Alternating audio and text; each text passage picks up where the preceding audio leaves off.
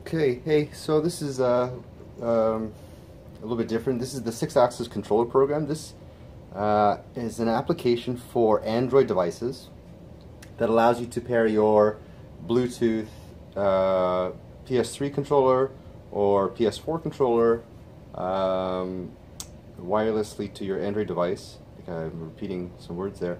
And uh, this you, you could use it to interface with your device or most likely you're going to play games with it. So for example, I use um, this app on my S6 Edge to play uh, PS1 emulator. I play Metal Gear Solid.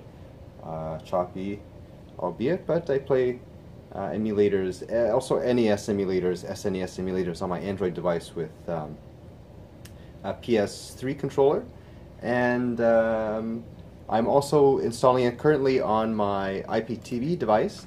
So I'm setting up an IPTV program um, in order to uh, sell my device because I picked up some uh, development boards and uh, I'm doing the programming myself so I could sell these IPTVs for cheap and I'm passing on the savings to you.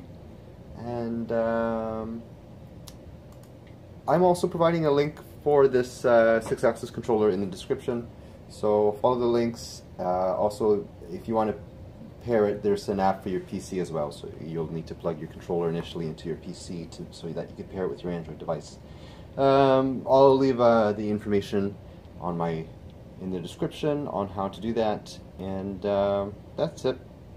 Thanks for watching, and stay tuned for more releases. I have some upcoming videos about uh, the IPTV uh, I'm releasing, uh, Kodi tutorials, and PlayStation jailbreak tutorials.